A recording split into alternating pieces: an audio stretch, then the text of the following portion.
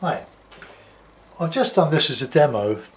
Uh, it's a country lane. I, I made it up from a photograph I took out of the bus window three or four weeks ago in Kent.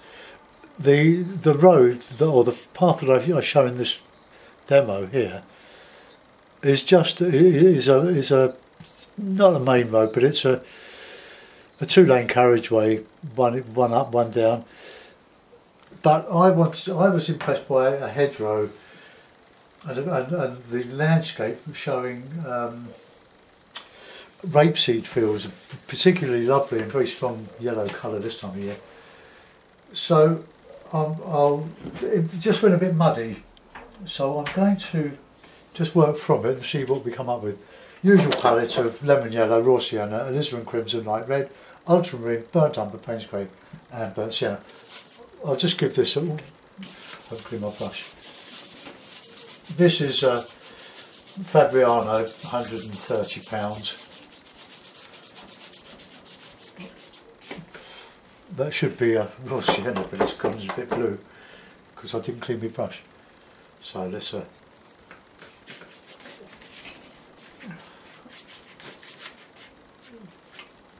right. Put a bit of bit of nice strong blue in the sky, just to,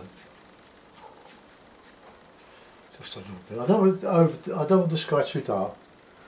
Just a bit of shadow, cloud.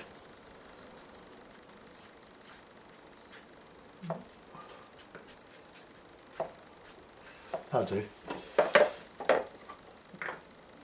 Right, just let that soak in just for a few seconds. And as it as the paper grows as it will, just reclip it, pretty tight.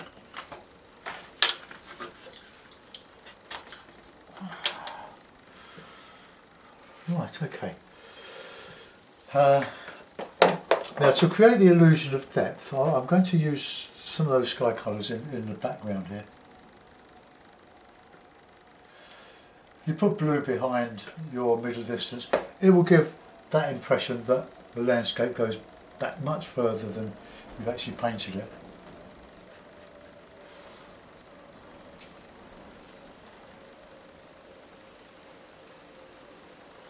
Right, just get that fairly level there. I'm going to put some heavier stuff in front of that. But I want to put these rapeseed fields in. I've got a bit of a collar there. I'm just going to shut my window. The breeze is uh, picked up and I don't want it to flip.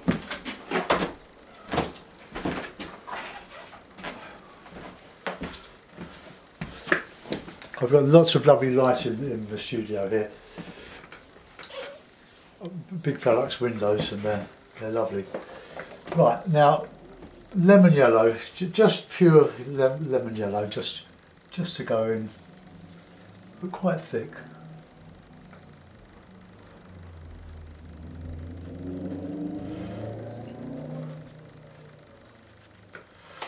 Right, okay, I'll give that a bit of a dry. Take your headphones off.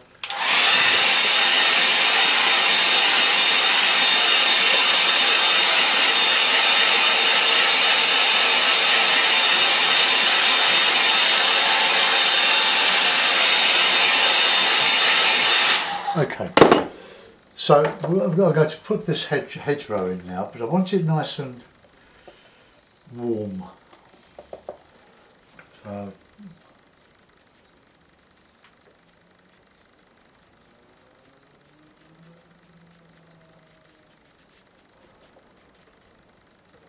a bit of blue in the background of that. Pull out the loose hairs.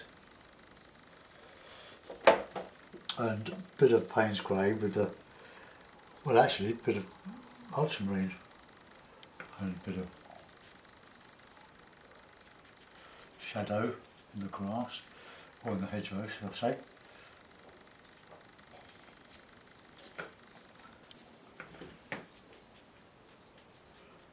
Nice colours, rich.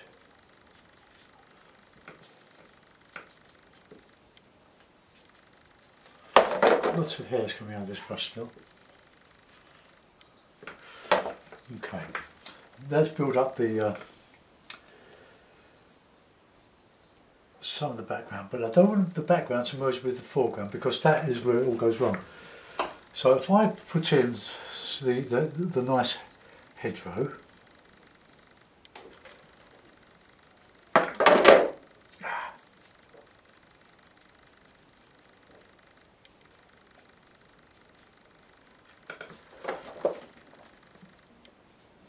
I'm using to paint, I've kept it in a Ziploc bag overnight and I'm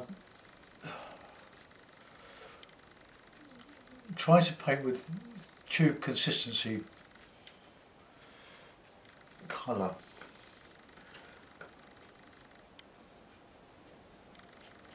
Okay, let's just flick out a few grasses in there. And we'll do similar stuff the other side. I'm going to go with a, with a nice yellow, but different from the yellow there. So I'm going to mix a bit of sienna with it, burnt sienna that is, a bit of blue,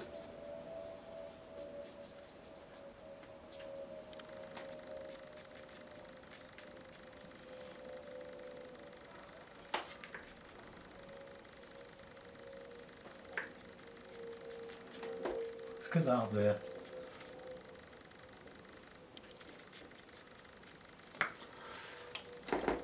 Nice yellows. Sienna.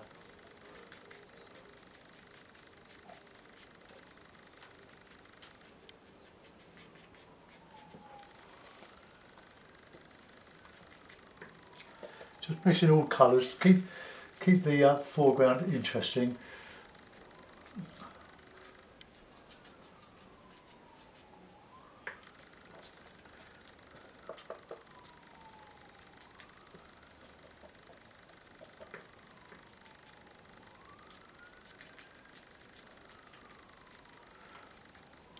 Right, okay, we've got plenty of colour in there. Oh, just some nice burnt sienna, just dry brushed over that.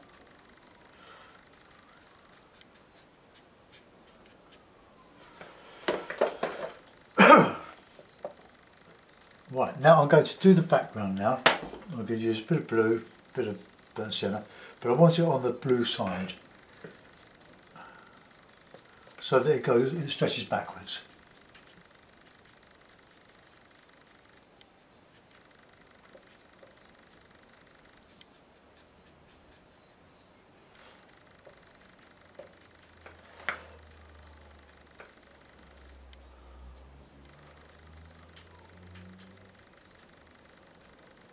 A bit more water, blue and burnt sienna. Now that's where I got it wrong before by doing too much behind there, too dark there. It, it had the same tones as the foreground and it didn't quite work.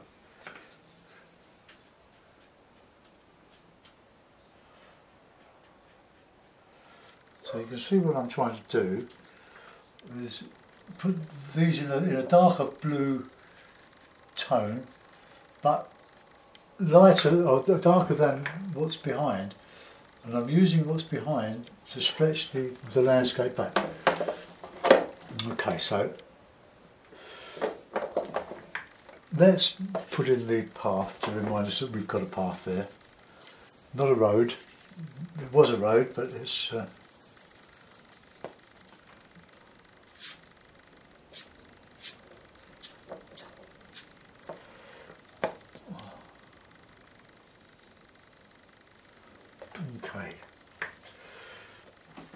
We'll put some hedgerow further up here.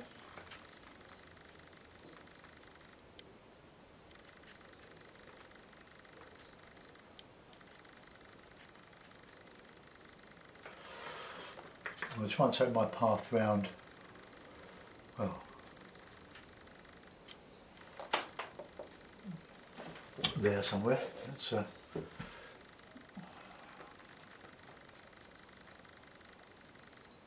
just going off into the distance here.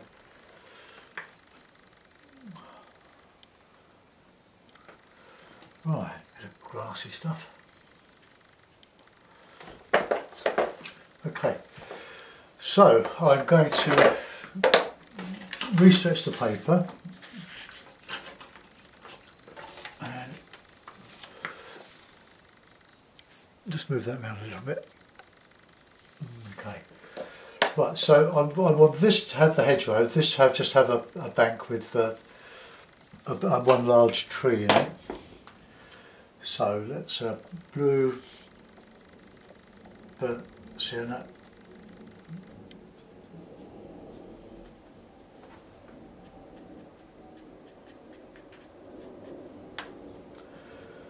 Want that dark in there to to uh, counter change against the background.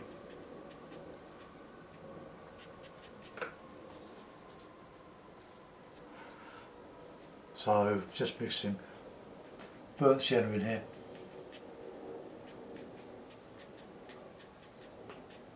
So I'll have my shadow on that side.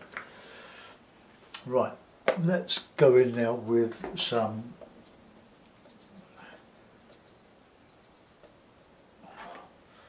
some of this here.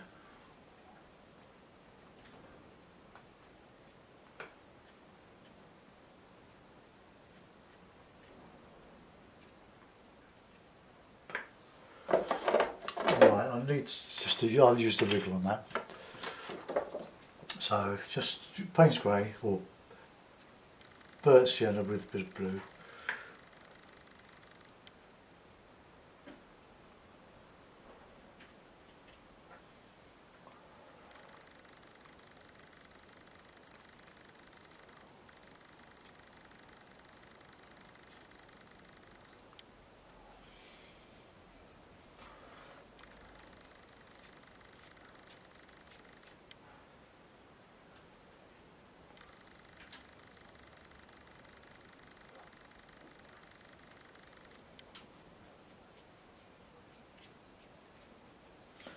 Dry brush a little this too.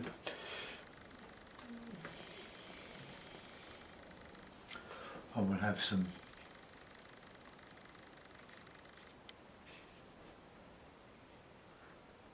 just some bits of grass, bits of bramble, just stuff in there generally.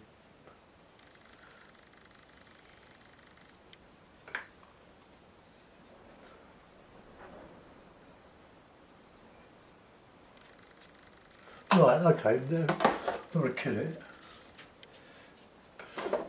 That's, I'm going to have to make one of those just a little bit uh,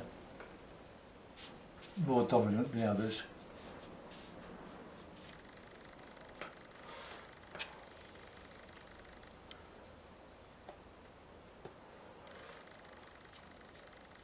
Otherwise it'll just look like a regiment of trees, so get that there. Right, now we're going with the hake again. You need a cloth when you're doing this to, to take off the excess water.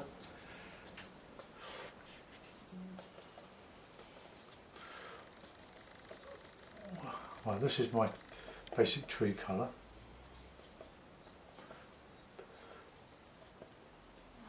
So we'll coming up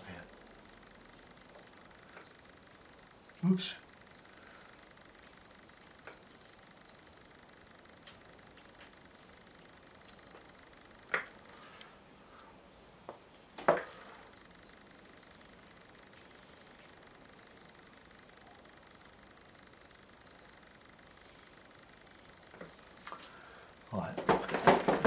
Brush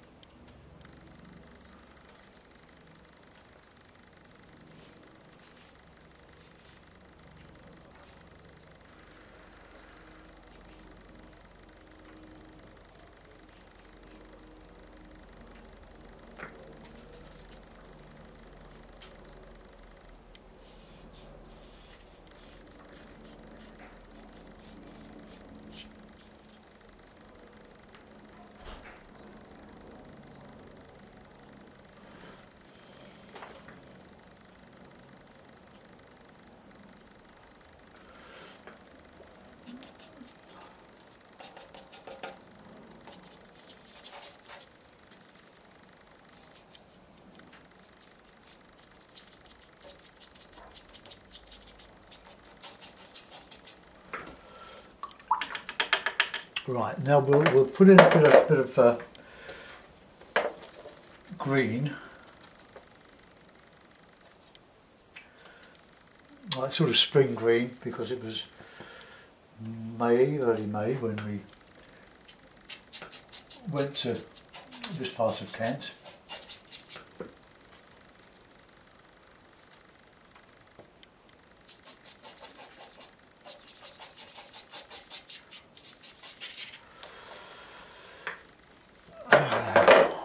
I'll just scrape out a bit of light off.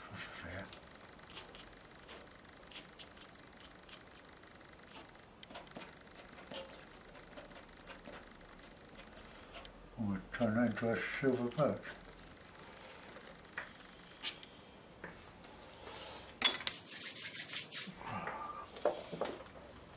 What's a smaller rigger?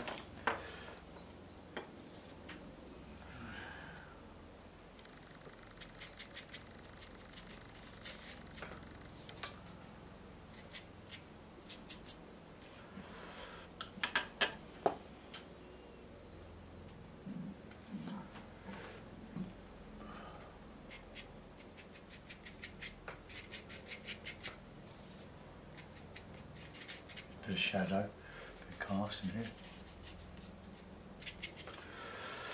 Now, um, I'll put in some leaves on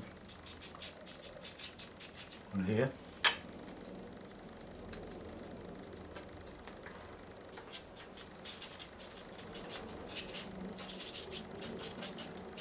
Just a, a hint of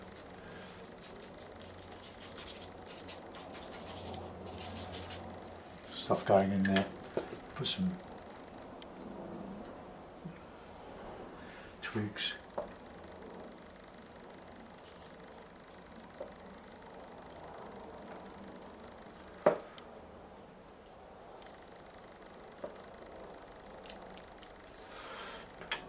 Right, now I'm going to put in some some ivy climbing up here.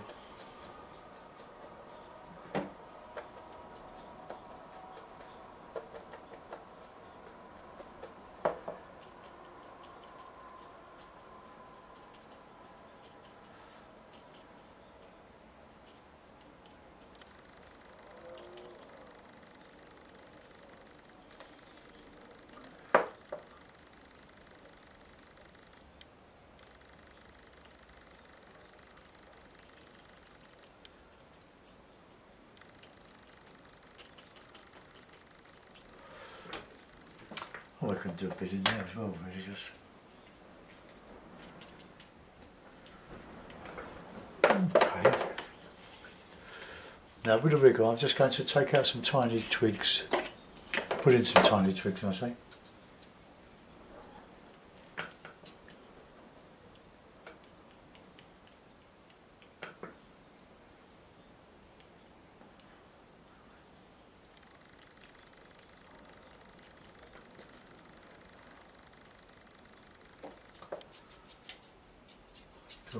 I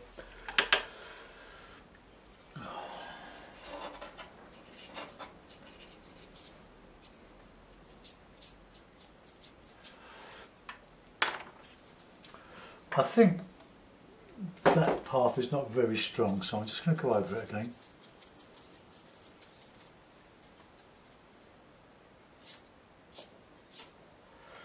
Right, I'll give that a bit of a bit of a dry. Take your headphones off.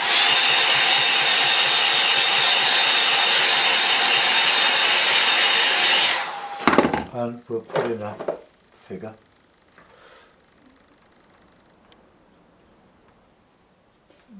Be quite large. Oops. Carried away there.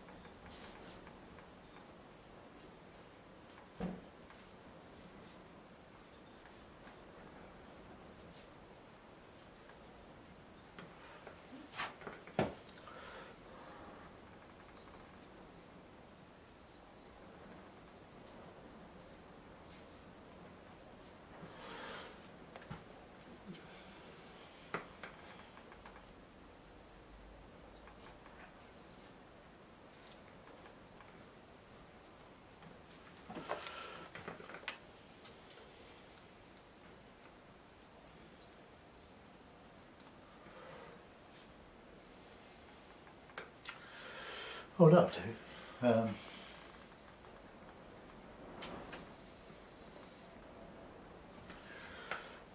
right, got birds.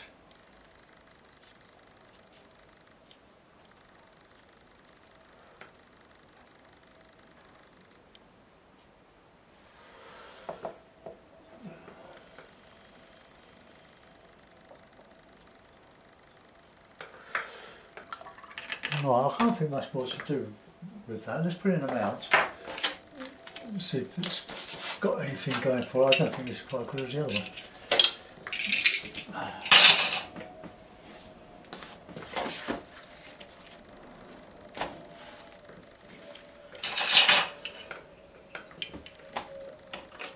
I wanted it to be busy without being muddy.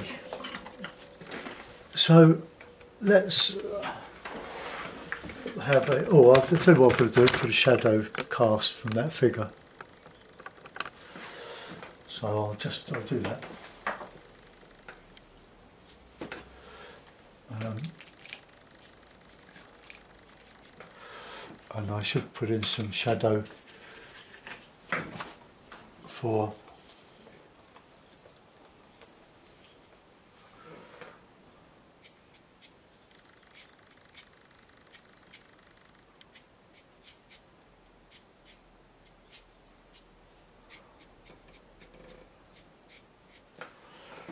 That that will do. okay, so there we are. It's a, a, country lane in Kent. It doesn't exist other than in my imagination. It's got the elements I wanted. It's got a hedgerow. Could have done better with that, but it's got this this rapeseed field here, which I quite like. I've left a lot of this unpainted um, that was that was the thing that was attractive, uh, and the, the distance. I put the blue in, as you can see, to give an, um, the illusion of depth in front of this middle distance here. So I hope you enjoyed that. I hope you get something from it. If you don't like it, well, keep practicing. Bye bye.